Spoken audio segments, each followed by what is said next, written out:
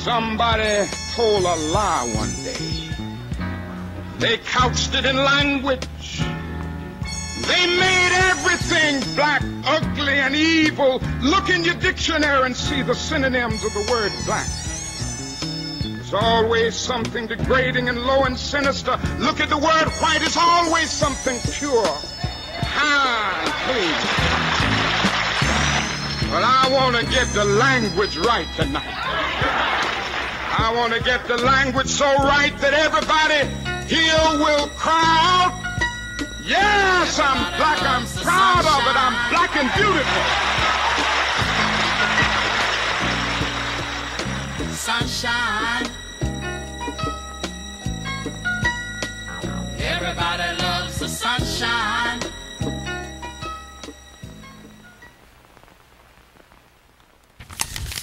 Black is uh shit, man. Yo mom, like waking up in the morning on a Sunday morning, your mom blasting like fucking Kirk Franklin and like Mary J. Blige, forcing your ass to like clean the fucking bathroom three times. My definition of black is like seeing all your old head ass fucking uncles at the cookout and shit playing dominoes and spades. My definition of black is like your mama telling you you can't get McDonald's because we got McDonald's at home. It's all that shit. That's my definition of black. My definition of black is just, it's love, it's community, it's all of that.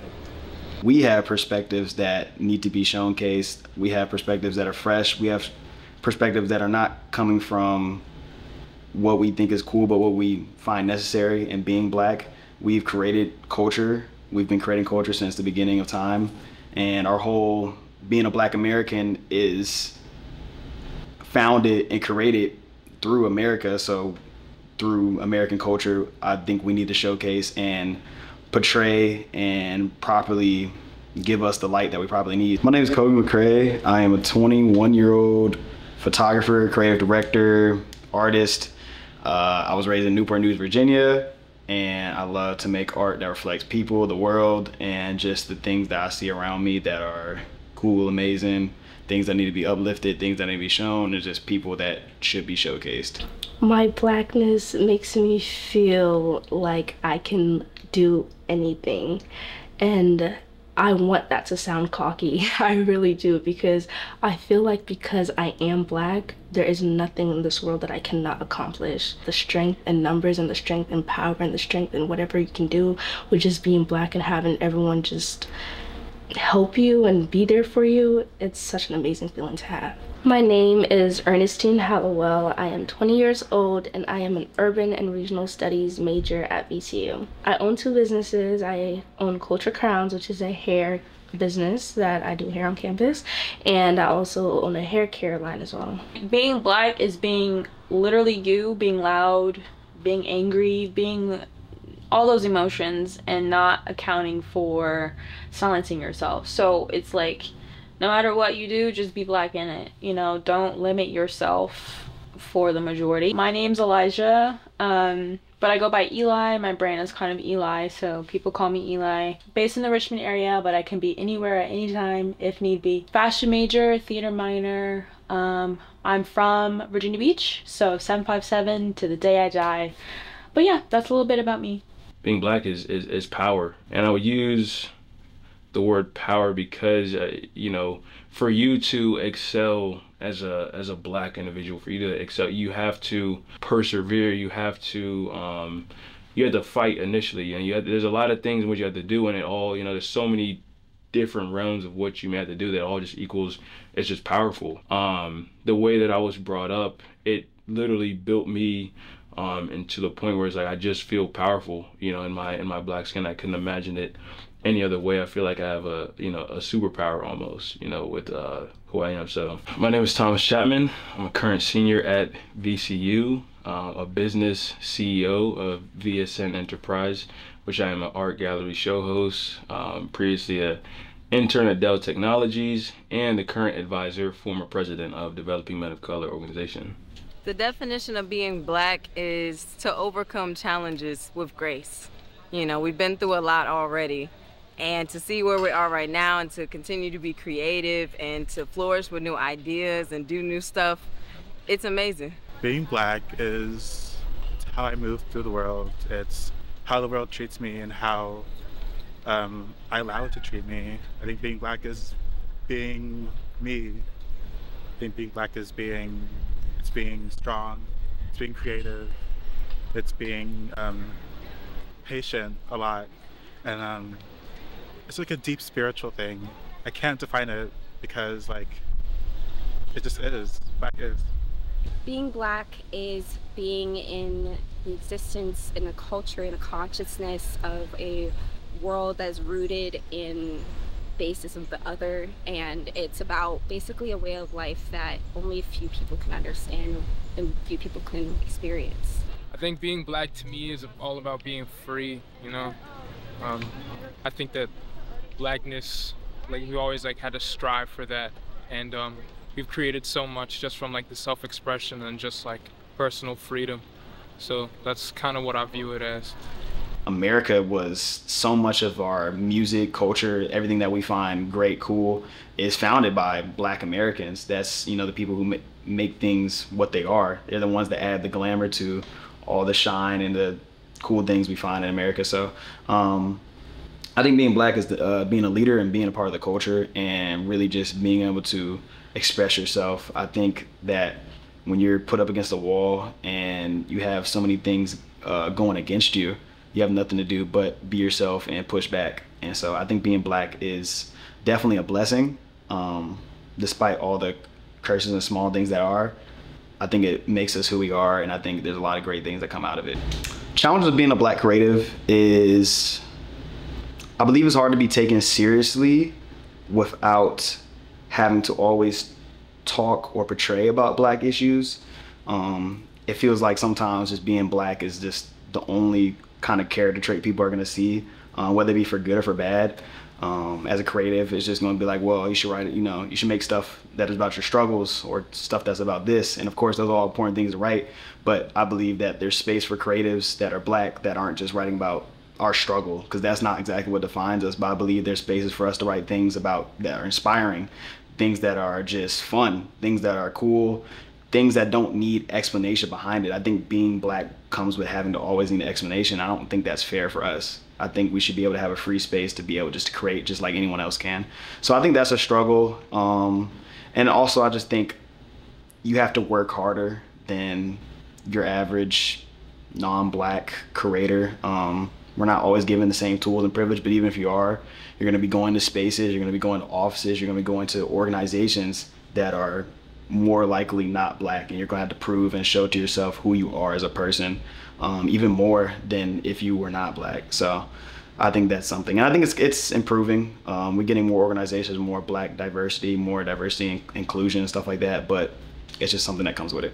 This is Love at First Sight. This uh, is an award show winner, so I like you know it means a lot to me. It's the first time I've won something for taking pictures or doing something artistic. Um, yeah, this is me and my friend Fawn. Fun fact: we actually shot it right where I'm standing with this light. Um, this is not a studio. I bought red cardboard and hung it up on my walls um, because I didn't do studio shoots at this time. I still don't do studio shoots. I'm going to though. But yeah, um, this is proof they can really work anywhere, make anything. There's no excuses, you know. So um, and this is like a little light I bought as well. Um, we just put in there, but it just signifies kind of the nuances of love. I think Fawn did a really good job. Uh, he's been doing modeling for a little bit. He's like, same time I started doing photos, he started doing modeling as well. So um, we just came in together. I had this idea. He came through together, uh, and we did this to kind of represent love, touch, intimacy, the heart, um, and just the eyes. You know, I think looking into the eyes, big part of my art. I love eyes. Uh, looking into it makes you ask more questions and think more deeply about it. And so you kind of start with the eyes here, go about everything else, the heart, the touch, the feeling, and from there you kind of build upon an idea of what love is. So uh, this is love at first sight. It's kind of supposed to capture the feeling of what love at first sight is. And being black is like, shoot, that perfect piece of like chicken, right? Or that that pers- that perfect piece of cornbread. It's like it's beautiful, it's creative, vibrant, it's sweet, all of that rolled into a big bundle of just like fierce, undeniable courage, and just an author just creating a whole bunch of masterpieces. I feel like that's what that is, you know, being black. My definition of being black is being able to make something out of nothing and just living in this world and persevering no matter what. For me, I feel like the definition of being black is just not only the color of your skin, obviously, but it's more so like how you how you interact with the world and how you really how the world sees you and how you perceive the world really. So that's my definition at least for being black. Honestly, just being yourself, like just being who you are, you know. Yeah, like it's about like culture and everything else, but like it's really about who you are. Like being black doesn't have a distinct definition. So I took this business class, this entrepreneurship class, and um, in high school, which is where I came up with the name uh, Culture Crowns. But coming to college, my parents couldn't really afford it, and they were just like, you kind of have to figure it out on your own. And I was like, dang. So I was literally working at Domino's where one of my coworkers um, asked me, do you still do hair? Because he knew me back from high school. And I said, yeah, I do. So I ended up doing his hair. And then later on that week, he referred me to more people and I started doing hair and that's when someone that was very close to me really encouraged me to take hair seriously and i finally did. And culture crowns has been a thing since my freshman year. I am now a junior. And people always ask me um, what type of hair care product should i use? What should i um, put on my hair? What should i do with it? How do i take care of it? So i always recommended them to different brands and i thought why recommend them to different brands where i can come up with my own? And that's where care for crowns came from um, I've been through a lot of obstacles. I think one of the biggest one is definitely being so young and having a business because I feel like I'm always underestimated. Um, can she really do it? And um, one of the obstacles I also face is just time management as well because being a student, um, managing your work life and your student life and everything. And I always feel like the odds are always pointed against us in a way. Um, so it's always just about keep going and keep um, no stopping no matter what. It's just always about pursuing because there's always a big dream and always a big goal. So it's always about you know, trying to get to that goal. I think being a black creative, I can definitely describe myself as determined. No matter what I want to do, I am always so perseverance in whatever I want to do. I will have an idea and I want it done there and now. And I think just being black and creative together is just such a beautiful thing because who else do you know can do it like us? Uh, being black means to be blessed by God with melanin skin. Uh, I'm proud of my skin. I'm proud to be black. I'm proud of black culture and all that it has to offer? Um, I define being black as like just being a cool individual with melanin, of course. Yeah, just being your true, authentic self. Um, to me, being black is overcoming the odds and working hard and definitely like putting your best self forward and moving forward in everything that you do. Like literally being black is being you. And I think also it's like um we also need to remember that we're community because a lot a lot of the times I think there's a lot of like silencing other black individuals as a black individuals. It's like, yo, we're we're not the, you know, enemies towards each other. Like and no one's an enemy, but it's just like we shouldn't be the victim to each other's, you know, um it, uh hostility sometimes. So, um I don't know, I think it's building that community and doing what we can to take up space. Um, so it's really interesting. I started out modeling um, just around COVID. There wasn't much happening, but I was kind of in, influenced by a mutual of mine, and I was like, I kind of want to get into modeling, so that's what I did. First thing I did was hit up photographers and was like, hey, new to the scene, would you be down to collab? And people were willing and ready, so I kind of did it. I've just been a person comfortable in my skin so I didn't really have a issue jumping in front of the camera figuring out poses just because like I kind of have like a, a sense of rhythm with my body and like kind of a dancer approach in how I go about life in general. And that was more print in the beginning and then I kind of expanded into runway. My first debut was the VCU homecoming show which I think was my sophomore year so maybe 2021 fall. Um, and I opened that show, which was really cool. It didn't really mean much to me. It was just like, oh, okay, I'm the first person people see, but like, I'ma still do me at the end of the day. So that was really fun. Um, and then just like shows, I just kept doing shows, kept you know putting my foot in the door, and things like that. Entering my junior year, post studying abroad, I was like, um. I love modeling. It's definitely given me the platform, but I see myself long term going, you know, behind the scenes.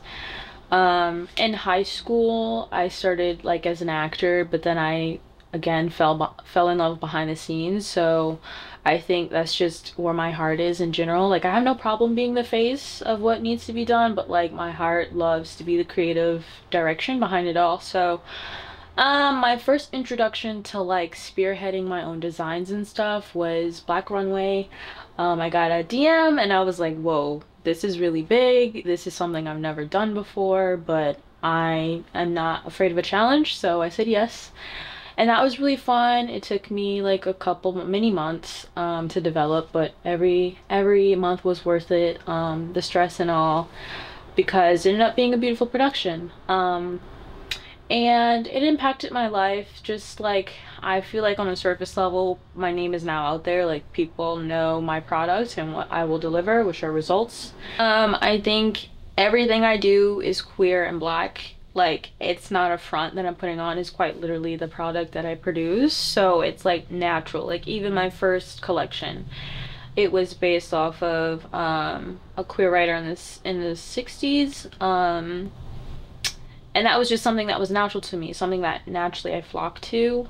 Um, and then also Parliament, um, a very black, you know, organ like band. So it's just like being true in my again, it comes with being true in your identity. First, you have to discover who you are as an individual, and then naturally you'll just nav- navigate to those elements that speak to you, and then that's what creates that art that then speaks to others. You know. Um, I don't know exactly how like the Christian background kind of influences me today. I know there was a lot of unlearning that needed to happen. I think also as a creative there's a lot of learning but also a lot of unlearning of past self and all those things that needs to happen to be authentic and like truly speak to others. So I think in that way that impacted me like a lot of unlearning of just like what I was taught and things like that. Um, I think on a surface level, just like being able to work with a team and like come up with creative ideas in general. Like I've been a choreographer before because I've had to do that in my past. Like on a surface level, just like more ex- executive roles like come natural to me. So yeah, I think um, that. My definition of being black is all kinds of art. Um, blackness is in music, dance, film, and visual art? Um, my definition of being black is pretty much being a part of the culture, surrounding myself with everything black, black music, black art, everything like that. I'm all for it. Um, growing up as someone in a double minority household, being a part of that community has always been very close to me. Regardless of the situations I've gone through, being black has always been something that I've looked forward to and everything. I always love seeing black people win. My definition of being black is just um, being strong, knowing your ancestors play a part in everything you do in life, knowing that you wouldn't have it because of your ancestors. Um, also, just knowing that you have to be comfortable with being uncomfortable, knowing you have to walk your walk regardless of if you have others besides you, and just being strong. Um, my definition of being black is just being iconic, um, being a revolutionary, going against all odds, going against the grain. Um, we're always told that we're not allowed or we're not able to do certain things, and we've always been held against uh, our own will. So I feel like, yeah, just going against all odds and being the best version of ourselves. Yeah, it's a DMC Developing Men of Color organization. It's an organization in which we aim to help those underrepresented, underserved, and underprivileged communities with men of color having the lowest retention rate in school. Uh, we, we aim to really help provide them the resources not only providing the resources to excel, uh, we also the core values professional development social networking academic success and giving back to our community you know we really want to have individuals take off that mask that they have on day to day while they're in going around. You know, we're previously a PWI, and they always have to feel like they have a mask on. They don't feel comfortable, and so we just want to provide that environment because that's where you can truly excel as a man of color at VCU. Yeah, so DMC was easily the most beneficial part of my college career. It's actually what kept me in college. I got a call from Dr. Good my sophomore year and or actually I called him and I was ready to to leave college totally. I was ready to go because I didn't have a sense of community. I didn't feel like I needed to be in college to get to where I wanted to go because I also was blinded. You know, I didn't know what I wanted really. I was running away from something versus chasing something ambitiously. So when I got got back um, and Dr. Good told me to stay at VCU um, and get more involved with the organization, that's where I had a really humbling experience with DMC. You know, it's a very humbling experience. You're going to get um, a lot of help if you're willing to ask for help, and that's what's been that's what's got me to where I am now. Yeah, so interesting enough, like when I first got to VCU, that's when I started VSN, and it was my way out of it was my escape from you know losing my identity from coming to college, and so I just started it. It was a clothing brand initially, and then I purchased a camera to make the clothing look better. Um, and so, like I said, I was just I was running from something. I want I needed a new identity. I needed something to latch onto, and so VSN was that initially clothing brand. It stood for lover, loser, loner, and that's when I really started to delve into um, emotions and trying to, explain um, how I felt and how my friends felt. So when it came to that initially, it was just a clothing brand, but since the clothing brand is expanded upon now um, it's an art gallery in which you know I, I held a, a, charity auction for artists in Senegal to give them the money and give back to them, as well as invite other creators out to showcase their artwork, whether it's paintings, filmmaking, photography, anything of the sort. So since then, I've, I've, I've been able to, to slow down and get more organized on how I want it to look and be and go forward. And it's a lot more, you know, structured now than it was when I started. It came to receiving the Dell offer that was partly through DMC. My uh, good friend Gabe, he reached out to me and said, "Hey, I've got this group called Alliance of Brothers, and what we do is, you know, we want to leverage each other's networks and you know just have a, a space where we can, um, you know, come in and talk and you know kind of learn from each other." And so from that, I joined the meeting one day, and it was two other guys that worked at Dell Technologies at the time. And so once I introduced myself and I kind of got to know them, one of the guys at Dell, he reached out to me and he said, "Hey, you would be a great candidate at Dell." Um, and at the time, I thought I was going to graduate that following summer. So he said, "Hey, we're going to look for some jobs for you." And what's crazy is I actually I completely fumbled the bag. Like I completely um, I told him I was graduating. He told me to reach out to these individuals to look for a job, and I completely forgot that I wasn't graduating. That's why I'm, you know, I'm still here now. And so he hit, reached out to me one day about like a month later and said, "Hey, did you reach out to these people? You know, we're trying to get you the job." And I had to, you know, be honest. I said, "Hey, you know, I messed up. I thought I was gonna graduate. I just talked to my advisor. Um, completely on me. I'm sorry if I blew the opportunity." And right then and there, because I did that, he said, "No worries. We're gonna change gears and we're gonna get you an internship." So right then and there, he told me to reach out to two other people. Um, I reached out to them immediately, set meetings with them, talked with them. About a week later, I had an interview lined up with Dell, and I immediately after interview reached out to everyone that he told me to again, um, as well as the interviewer. And just a few days later, they had sent me an internship offer. So that was insane on, on how it happened because I did think that I fumbled the bag initially, but got back from uh, eventually. Um, to me, being black is being fully everything that you can be, being completely yourself, and being unashamed in your melanated skin. My definition of being black is to be culture, to be very into like culture. Um, I feel like I think my definition of being black is like powerful. Um, yeah, I think I just used the word powerful. Definition of being black is being whatever you want to be as long as you come from the diaspora. Black, being black is challenging. For me, being black, Being black is being creative and it's being connected to other black people. Definition of being black is kind of like being the blueprint. So being able to begin things and just set set momentum for the future. I think the definition of being black is being beautiful and authentically you in your own skin. My definition of being black is being unique, being first, never second. Yeah. Being black is just being me unapologetically. Um, personally, I don't have like, I believe it's subjective. My definition of being black is being able to wear my hair how I want to and express myself. I would say it means just having pride in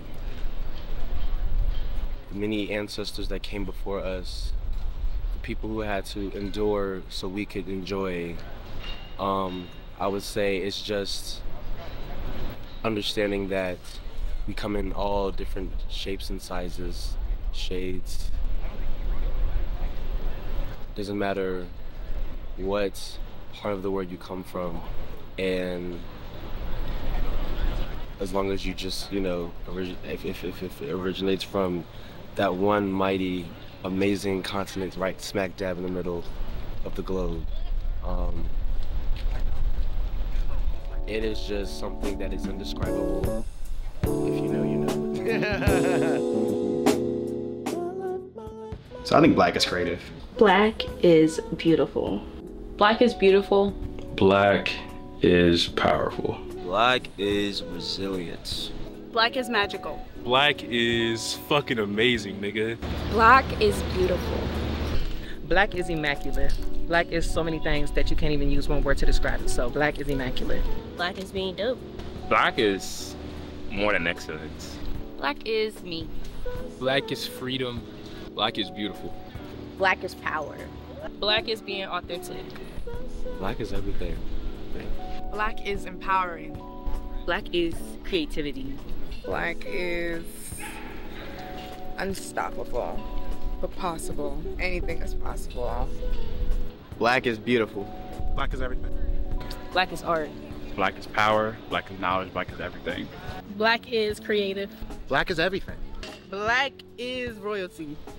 Black is powerful. Black is intelligent. Black is awesome. Black is beautiful. Black is it, bro. Nothing better. You know, I literally just said today, bro. I thank God on black. I thank God on black, bro feel, what I feel, how in sunshine.